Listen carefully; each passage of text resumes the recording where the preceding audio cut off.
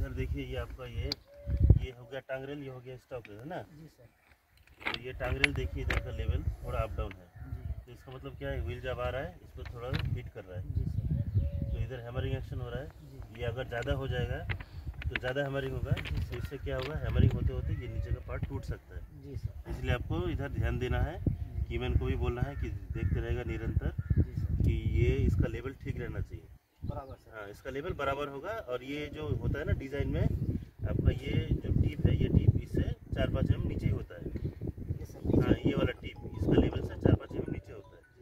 तो आपको उसी हिसाब से इसको मेंटेन करना है। इधर भी आप उंगली देखे फील कर सकते हैं कि ये लेवल होना